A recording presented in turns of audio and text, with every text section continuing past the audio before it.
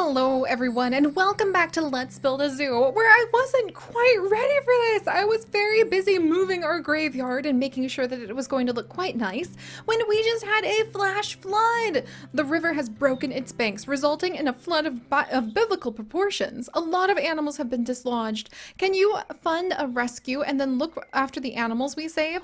All the extreme weather feels like the results of something. I'm sure it wasn't like this when I was a child. Of course we'll take in some of the animals animals. Oh my goodness, you guys. So, oh, monkeys.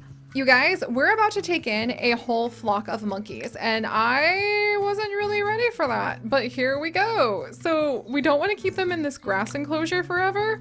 Uh, however, they're inbound. Monkeys incoming. All right, let's go ahead and let's get ourselves a tropical exhibit built for them because I'm pretty sure that's what the monkeys are actually going to need.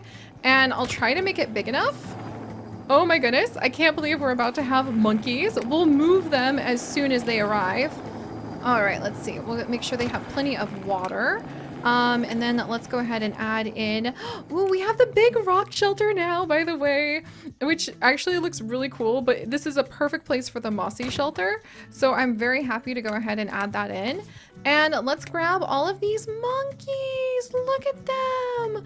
You guys we just might be able to start off a special monkey experimentation zone. Normally I don't like monkeys, but these ones are really cute. Uh, like monkeys, they kind of, they're the one animal that kind of spook me a little bit.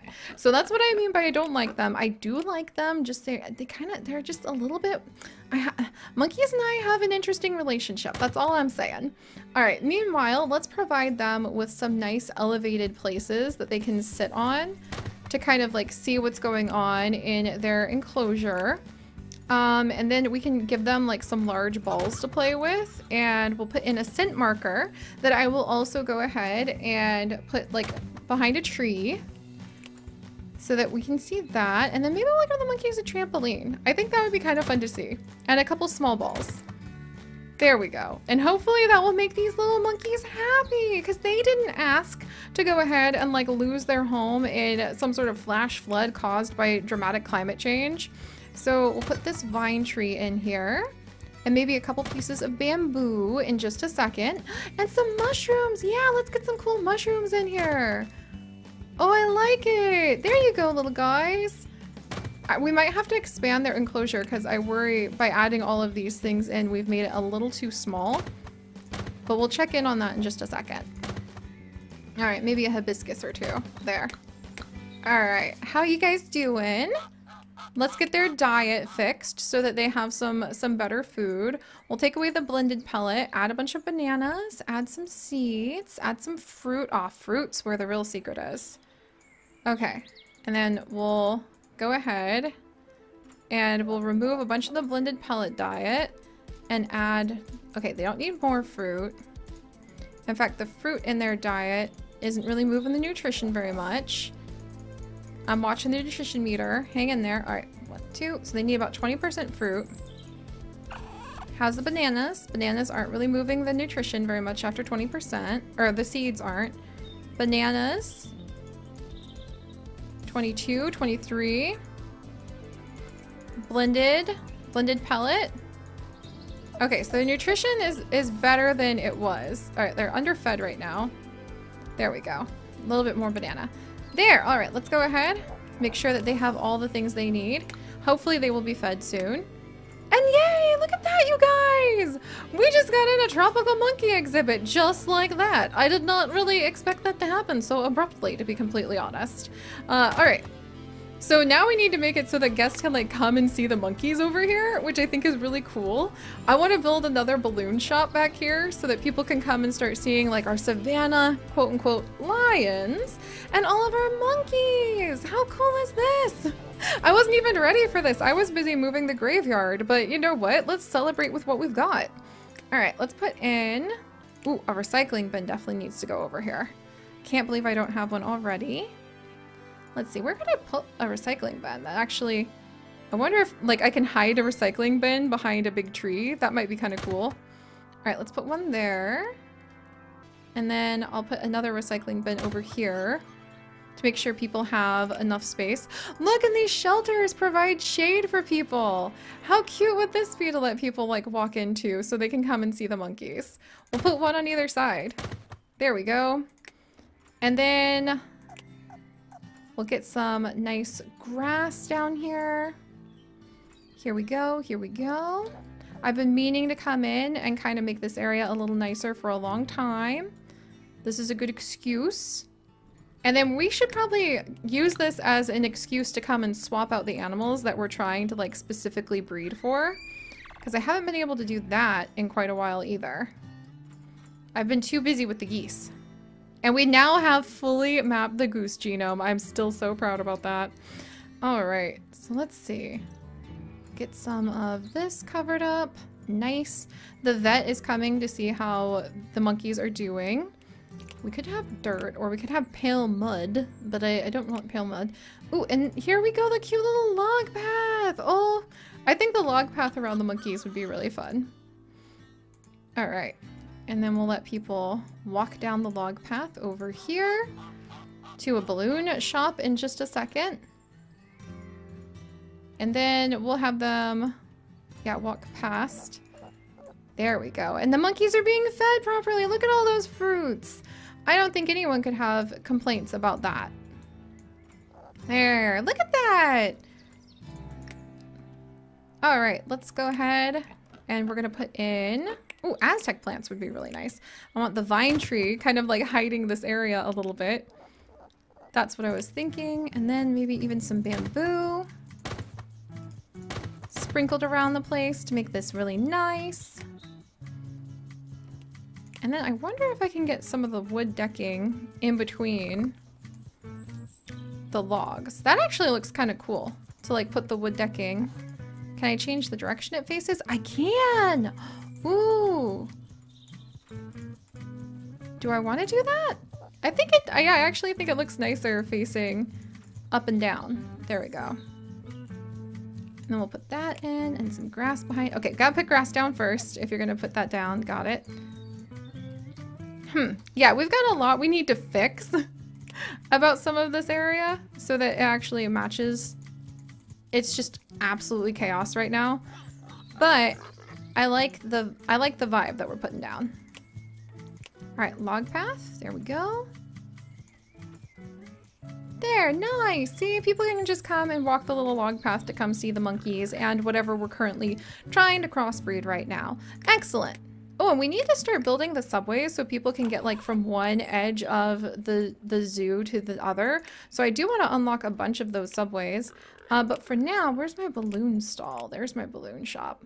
what? I can't fit my balloon shop in here. No, no, we got this. We got this.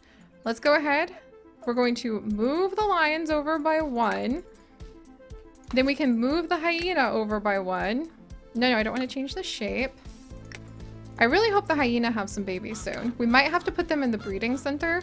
Oh, and I definitely need to get them some more water. They just popped out of their water spot. Hang in there, hyena, I'm coming. There we go.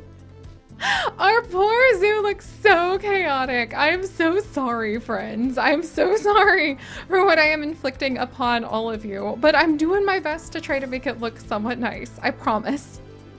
We're, we're getting there a little bit better now, if you ask me, maybe. Like if you squint. I'm just so grateful you guys, you guys put up with all this, to be honest. Thank you. It makes me so happy. All right, let's see. Let's come in and we're gonna get this balloon. Where is my balloon shop? There we go. All right, balloon shop. There you go. Hey, this person's got decent politeness. There we go. We'll go ahead and hire that person for a balloon shop. And get the log footpath down. Ta-da! We should probably have more tropical stuff over here because I think it'd be really nice to have a bunch of tropical exhibits that sort of surround our beautiful conservation center. But I do think that it's it's fitting to go ahead and leave the lion up here for now. All right, so now we've got all of this pathing down. I can't help it. I want grass everywhere, so we're just going to go ahead and fill this in because it's been a while. And I think what we should go ahead and do now is actually celebrate the fact that we have some creatures waiting to come out of the CRISPR. Because we've been slicing these genes the whole time. We've just been distracted by the arrival of like, employ more animal keepers. Oh boy. All right, they're not able to complete what they need to do every day, which means we need to, eh, we need to improve our efforts there too. We have a lot of research points I need to go ahead and snag. And I need to start getting more money from people. we should go ahead and increase the ticket prices real fast. All right, ticket prices are now going to be 24. Transport? We'll, we'll look into transport and improving transport in a little bit too. All right. Chaos! But we have monkeys! So that's a good kind of chaos, right? And we have a cute little balloon shop. Let me get more grass down over here. And maybe what we'll start doing, friends, is instead of me trying to like pick one path and just like barrel our way down it, maybe we'll start picking an area, just like one area, and we'll just work on that area until it looks somewhat decent. Because I think that'll that'll that'll make it feel less chaotic. And if it feels less chaotic, we probably will be able to keep up with everything a little bit better. All right, mm, do we like these bold squares? I kind of like the bold squares. Kind of. Hmm. Yeah, I like the bold squares to go with the savannah. Bold squares for savannah it is. And then maybe we could put in a small amenity back here. Oh, hey, we don't have many restrooms, do we? Hey, look at that! This restroom actually fits perfectly. Yes! Okay, that actually worked out really, really nicely. I, I love the look. This is what we need to do just kind of tidy up and complete some of this. And then we were thinking about getting another conservation center that we could flip and put where this breeding center is, but we kind of need this breeding center. All right, let's return these bun buns. They're, these, these bun buns are trying to breed for these ones. So let's actually have infinite breeding. We have hyena. Oh, and we do have the monkeys. Pregnancy probability 24%. Okay, what is the pregnancy probability? Seven on the hyena? How do you improve that? Wow. Let's go ahead and we'll try breeding a couple of the monkeys. the monkey's already expecting a baby. Woo! Let's actually try breeding the hyena for a little bit then. Inside of the breeding center because that might give us a better result. And then how are we doing? We need to return a bunch of the animals in the bunny zone. Um... Oh, and we can potentially breed one of the last unknown rabbits. Yes! Oh, there's a chance to get a new one. Okay. And otherwise, I think we need to breed some of those ones. All right, there we go. And then manage. Yeah, breeding. Good, good, good. All right. Phew! Thank you guys for your patience. I know I'm a little bit like a little bit over here, a little bit over there with what we're doing right now, but I'm really happy to finally be tackling some of our projects. Let's get the CRISPR going. CRISPR should always be crisping. So first things first, our Raboose. It's another Raboose! I just love the Raboose. I have to always have some good Raboose in here. Wait, why are the why are the Raboose a threat? Wait, who's a threat to the Raboose? Is our Raboose a threat to the other Raboose? Who's threatened? Hang on, cohabitation. Which Raboose is threatened by who? Oh my. Did I just add in like the most ill-tempered Raboose ever? Okay, there's a little bit, there's a mild threat level, but they, they should be okay. I know they all look a little bit odd, but they should be okay with each other. Uh, and then we also have a brand new animal with our snake rabbit hybrid. I don't know what it's going to look like. I don't know if it can go in with our, our duck hybrid. Let's see. It's a Rebake! Wow! Can it go in here? It totally can! Okay, so the Rebake can actually come in with this little like crossbreed mix. That's totally cool. All right, back to the CRISPR. So we're gonna go ahead and now we have enough of the pigs, enough of the rabbits. We have the full geese, we have the full snake to do more crossbreeds. The snakes are our most popular animal out of all the ones we currently have. So let's do another snake mix and I'm gonna roll the dice to decide is it gonna be a one or a four for a rabbit, a two or a five for a goose, or a three or a six for a pig mix. It's a pig! All right, so we're gonna go ahead and we're gonna see how that mix goes. Uh, and then I want more Raboose. While we can make them, I kind of want to get more Raboose. Because I love, the Raboose are one of my favorites. What's this? A stealth mission, Cyber War. We want to go into the cosmetics factory and film what's happening with the animal testing there, but we need an excuse to go in. By signing this form, you can back us up by creating a narrative that we are inspecting the area in consideration of supplying more animals to them. Will you help our cause? Um, sign the film to aid filming animal cruelty in the factories. Uh, sure. That I can get behind. Alright, and we'll breed another Raboose. Alright, I need to make some nice small exhibits that we can put some of these really cool hybrids on, though. Yay, and our monkeys are happy! Actually, probably I should be breeding some of the monkeys instead of... Oh, wow, the bunnies are pregnant. uh, this particular rabbit set, hopefully I can come back after after they're done and we can clear them out. Uh, okay, good. Yay! Wait, is that a baby hyena? They had a baby hyena on us, you guys! Our hyenas actually had a hyena baby! Wow! And we are expecting another baby! That's fantastic! We're working on the hyena pairs. Yay! Okay, that's good. Wow. Alright, I'm actually quite tickled. Holy canoodles, we have 81 research points. Um, alright. Between the rabbits, between the hyenas, and between the snakes, I think we're doing really good. So let me come in. Let's check the research points. Let's see if we can just go hog wild with these research points now. Hmm. What do I want to unlock? Ooh, leaf piles! Animal enrichment leaf piles! Yes, please! And now we, oh, in a tropical juice shop. That's perfect. Drink shops satisfy your customers' thirst. So we've unlocked all of the drink shops now. So we can go ahead and add that in. I want the potted plants. Let's unlock that too. And then, let's see. Now we have blue and orange floor packs we could do. A water sprinkler for the animals to play with. Yes. Yes, that sounds amazing. Um, let's see. And we can unlock a bunch of the berries to get the farm up and going. Animal enrichment cliffs. Okay, that's really cool. Deco Pack Zoo sign. Make your park beautiful. Check the heat map for your decoration score. A good variety of items will keep your park's efficiency rating up. Okay, so we definitely need to work on that so we can decorate the place a little bit better. Uh, so on that note, let's unlock the lamppost just to get that done. And we're so close to being able to do the farm processor. Wow. Ooh, and here's the cafe. All right, we'll unlock that. Ooh, scratching post.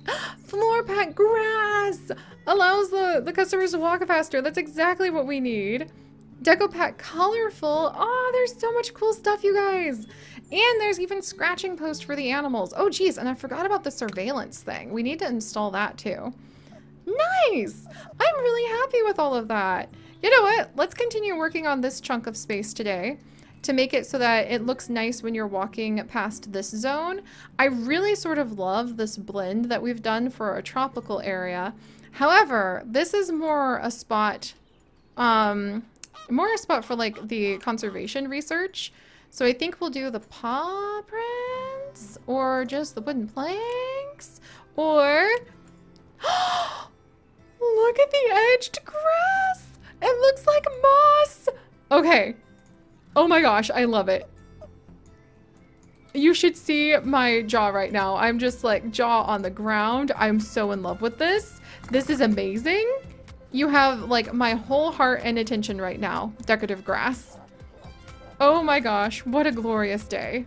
All right, we'll make this go, whoops, and a nice loop around where the animals go. There we are. All right, sweet. And that actually makes me know, whoops, did not want that there. All right, we'll move the log footpath over one more chunk. And then, lovely. Oh, just lovely. Magnificent. And actually, I'm gonna come in with deco. What? Oh no, my grass! All right, grass, and then wood decking. Boom so that people can come and see the monkeys from all directions. Oh, I'm so pleased with this grass, you guys. that even leaves enough room to sneak in a few shops around here. I wasn't thinking about putting in too many shops, but now that we clearly have the space for some amenities, I feel like we should maybe have an info kiosk. Having an information kiosk that in your zoo guarantees that your visitors will stay for longer as they have a better idea of what to see. So I feel like an info kiosk next to where we have like all of our, our conservation efforts and our special like crossbreeding efforts we have is a good thing to do. So we'll put that down. And I sort of feel like having some wind turbines back here would be a good idea just to show off how like we're just trying to be super eco-friendly there. Um, and then what about for more shops, maybe like a little gift stand? That could go right here or right here. People are starting to get balloons. The tropical juice stand. You could come and get your tropical juice. Oh, I love it. We'll do tropical juice right here. Oh, look, somebody wears hibiscus in their hair when they work here. That's awesome. Work ethic's really terrible on this person. We'll have to like fix that. All right, and then churro stand. We don't have a churro stand yet, that's true. I feel like another gift stand would be really nice though. Because here's where you get to like come and learn all about the gifts that people are like all about the gifts of the natural world. Clearly people are going to want to go ahead and like spend their money on this. All right. And we'll get some more paths put in to all of those places. There we go. All right. I like that. I don't like this part though. Let's let's swap that out for the new edged grass. That's much nicer. Oh my gosh. I've really got to clean up the layering that we've done on these paths.